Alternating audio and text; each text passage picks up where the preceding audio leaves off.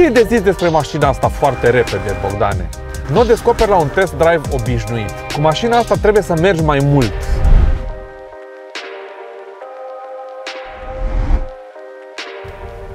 Pentru că mă aflu într-un Mercedes-Benz EQC și vreau să stau de vorbă cu omul care știe foarte bine mașina asta. L-am sunat. Alo? Alo, bună ziua! Bună ziua! Ce faci, prietene? Vă bucur să-ți aud glasul, asta fac și uite, sunt într-o mașină electrică minunată Și eu la fel. și mă dau cu mașina asta electrică minunată printr-un peisaj minunat. Este peisajul perfect pentru mașina asta care știm că se vinde foarte bine în nordul Europei. E foarte adevărat, am văzut cu ochii mei lucrul ăsta când am fost în Norvegia la întâlnirea internațională a ambasadorilor de brand Mercedes-Benz, un eveniment pe care nu o să-l uit realmente niciodată. Da, am văzut, EQC-ul era deja prezent și era prezent bine, foarte, foarte bine.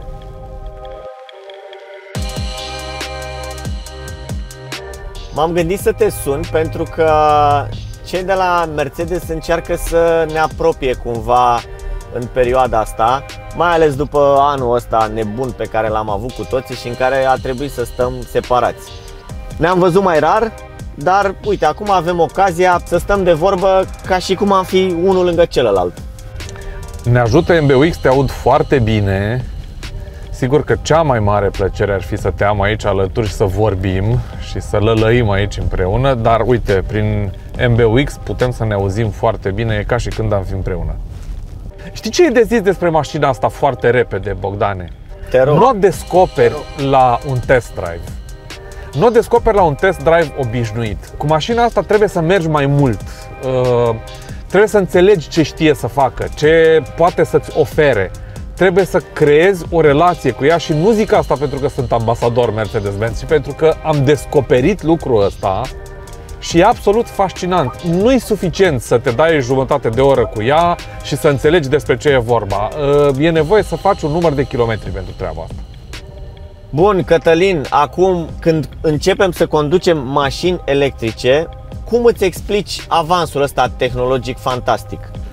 Păi e o nevoie, Bogdane, mașinile nu puteau să rămână în urma progresului, ca să zic așa. E o nevoie și pe de altă parte e evident că există nu doar un miez de adevăr, că există o evidență peste care nu poți să treci la ora asta și mai mult decât atât, tehnologia avansează. Exact așa spuneau cu câțiva ani în urmă, ca să aduc exemplu mult mai aproape, toți nostalgicii care spuneau nu e o mașină aia care nu are un schimbător de viteze să schimbi dintre întâi, din viteza întâi în viteza a doua, să simți cum nu știu ce.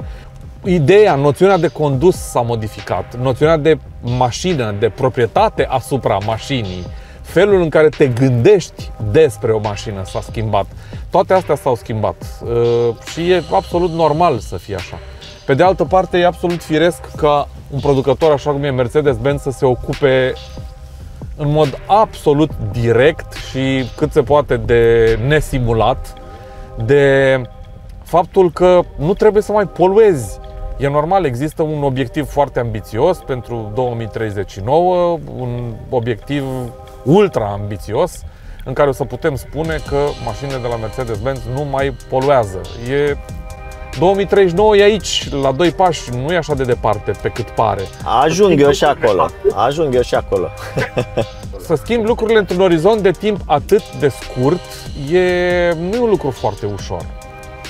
Dacă te dai cu un EQC și dacă ai șansa, bucuria să conduci un EQC, hai să spunem câteva sute de kilometri, îți dai seama că fără să realizezi lucrul ăsta, faci conducere defensivă.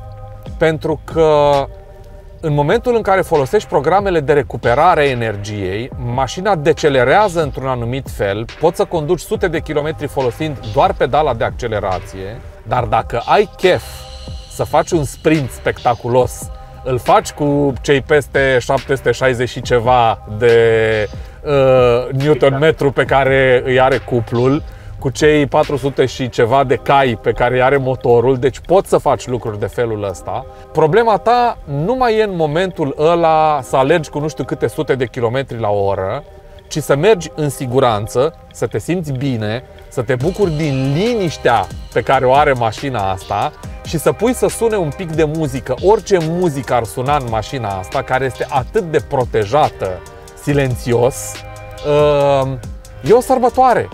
E o mare experiență să trăiești așa ceva.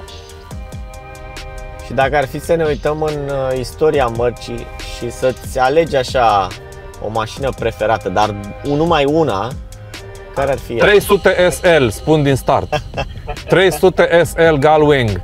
Asta pot să spun Mă gândeam. din start. Mă gândeam pentru că și mie îmi place tare mult mașina aia și o consider uh, simbol pentru marcă.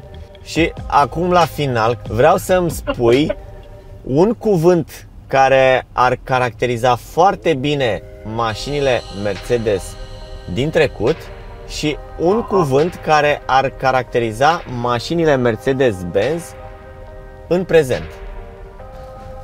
Ha, tare. Uh, cred că un cuvânt care s-ar potrivi pentru mașinile de la Mercedes-Benz în trecut ar fi unicat, pentru că e vorba nu doar despre pionieri, ci despre începători de drumuri. Uh, Deci aș folosi uh, cuvântul unicat. Iar în ceea ce privește mașinile de acum, uh, cred că aș spune vizionar. Pentru că cine a inventat automobilul îl duce și mai departe în timp și mi se pare că brandul Mercedes-Benz e un brand profund vizionar și am putea să vorbim despre chestia asta până mâine dimineață. Trebuie să, să te las, dar putem să mai stăm de vorbă cât o încărcăm. Dacă găsim o priză rapidă de 110 kW, pentru că atât de mult trage mașina asta de la o priză rapidă. Ceea ce e un lucru absolut minunat pentru că poți să-ți cumperi un sandwich în timpul ăsta, poți să vorbești la telefon, să schimbi două vorbe cu un prieten și ai constatat că mașina e încărcată, ceea ce e lucru mare. Bun, Cătălin, îți mulțumesc tare mult. Mulțumesc foarte mult, Bogdan, și spor mai departe. Și mulțumesc, Mulțumesc. de convorbire.